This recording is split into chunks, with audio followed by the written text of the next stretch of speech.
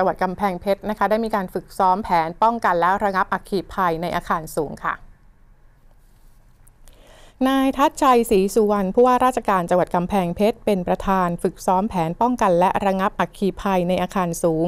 โดยสำนักงงานป้องกันและบรรเทาสาธารณภัยจังหวัดกำแพงเพชรเพื่อเป็นการทดสอบแผนเผชิญเหตุฉุกเฉิน การเกิดอัคคีภัยในอาคารสูงของหน่วยงานที่เกี่ยวข้อง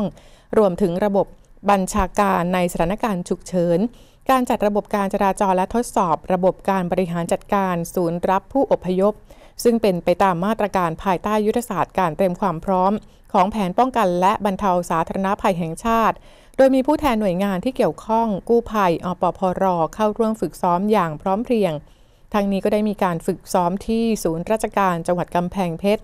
ซึ่งได้มีการจำลองสถานการณ์อัคคีภัยในอาคารสูง ในบริเวณศูนย์ราชการนะคะ โดยหน่วยงานที่เกี่ยวข้องก็ได้เข้าปฏิบัติการตอบโต้สถานการณ์ตามอำนาจหน้าที่ ประกอบด้วยการปฏิบัติการของเจ้าหน้าที่การค้นหาผู้ที่ได้รับอันตราย จากการเกิดอัคคีภัยในอาคารสูง การอพยพประชาชนบริเวณใกล้เคียง การรักษาพยาบาลและการส่งต่อผู้บาดเจ็บ การจัดระบบจราจรโดยรอบและเส้นทางการอพยพ การบริหารจัดการสถานที่รับผู้อพยพ การจัดการสิ่งแวดล้อมและสถานการณ์แทรกซ้อนต่างๆ เพื่อให้หน่วยงานปฏิบัติได้มีความชำนาญนะคะแล้วก็ประสานการปฏิบัติงานร่วมกันในการป้องกันและแก้ไข